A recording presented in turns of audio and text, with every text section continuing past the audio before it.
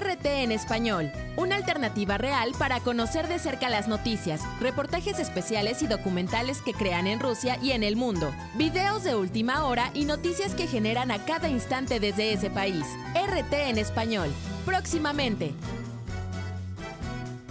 Canal 49, el canal de Morelos.